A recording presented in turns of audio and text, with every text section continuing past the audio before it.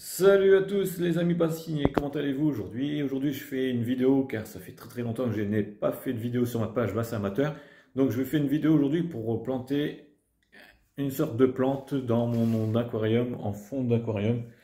Donc c'est cette plante là, j'espère que vous la voyez. C'est une plante qu'on va mettre au fond du bassin. Euh, du bassin. J'oublie que c'est un aquarium, au fond de l'aquarium.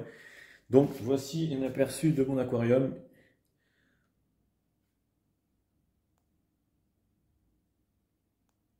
Donc hier, je suis allé dans une serre acheter quelques plantes et je les ai plantées hier dans la fin de journée. J'ai oublié de faire une petite vidéo pour vous montrer comment je les plantais. Donc ce matin, euh, j'ai acheté euh, deux, euh, cinq plantes, les mêmes, et je vais vous montrer comment les, disséquer et aussi les ajouter au fond de votre aquarium.